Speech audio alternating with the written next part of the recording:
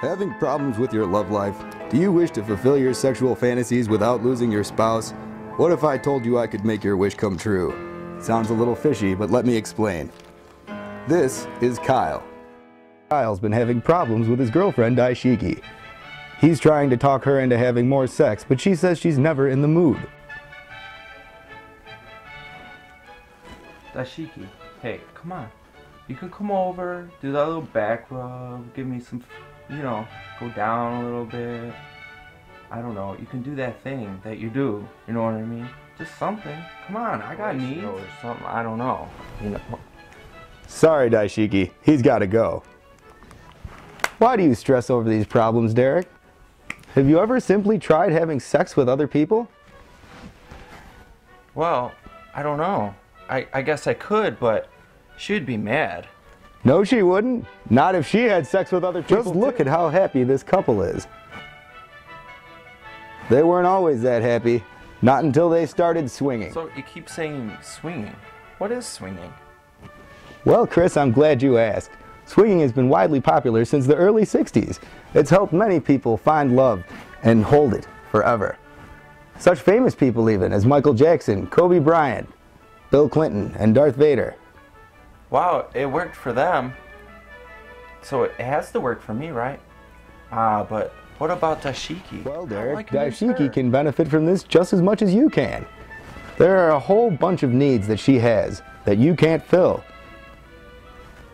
You know what I mean? Like, like, I don't. Well, it begins with O and ends with orgasm.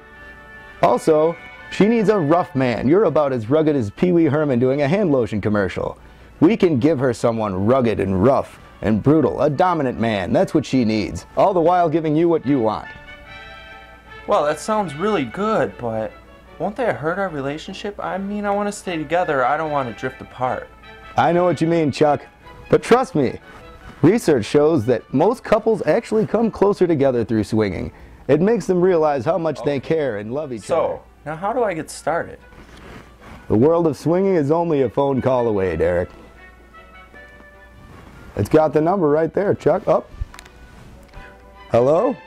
I think it's for you. So, he told me all these benefits, and it sounds like a really great idea. Yeah? Really? You love it? Great. Well, I have the number to call, and we'll do it right away. Great. It sounds like she's happy. Oh, yeah.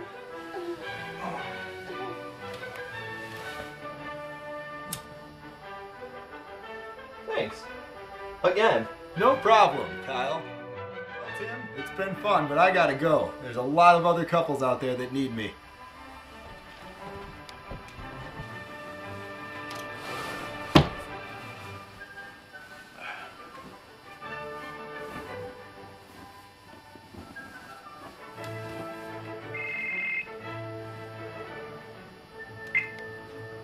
Oh, hi, Dashiki.